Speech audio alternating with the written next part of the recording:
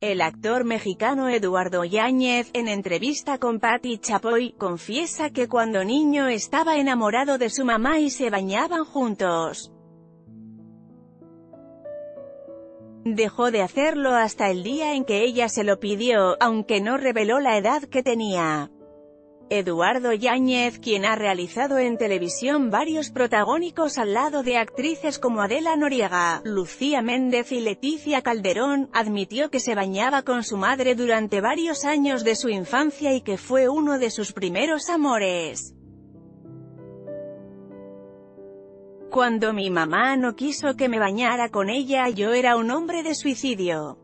Si es mi mujer, es mi mamá.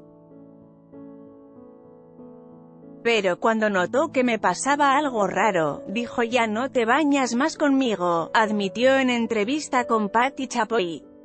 A pesar de que en la infancia estaba enamorado de su madre, hasta los 23 años le cuestionó por qué no conoció a su padre.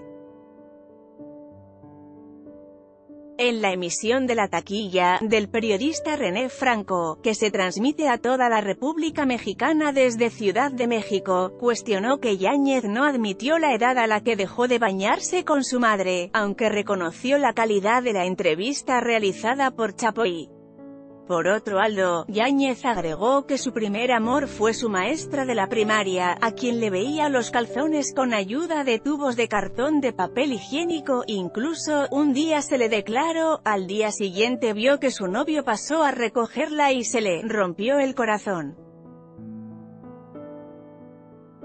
En esta nota,